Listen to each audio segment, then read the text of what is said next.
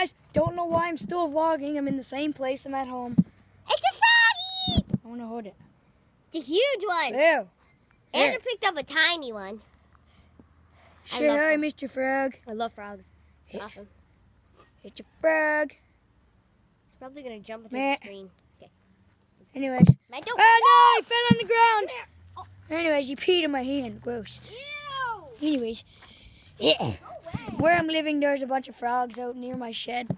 They're always jumping around the corners. Anyways, I don't know why I'm still vlogging. I'll see you later. But yeah, I won't vlog till I get to the fireworks, I promise. Bye!